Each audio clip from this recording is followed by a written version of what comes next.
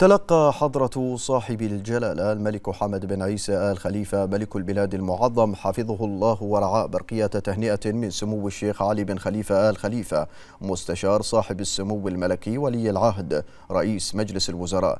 رفع فيها سموه إلى المقام السامي لحضرة صاحب الجلالة الملك المعظم أسمى آيات التهاني والتبريكات بمناسبة فوز فريق ماكلارين بالمركز الأول والثاني في سباق جائزة المجر الكبرى ضمن بطولة العالم لسباقات الفورمولا 1 للسيارات.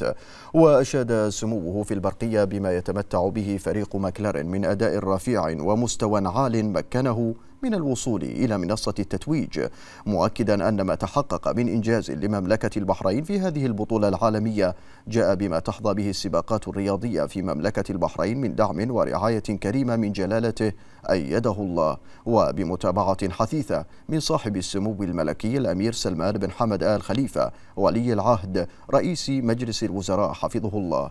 مضيفا أن هذا الإنجاز يضاف إلى سلسلة الإنجازات التي تحققت لمملكة البحرين في العديد من السباقات الرياضية العالمية.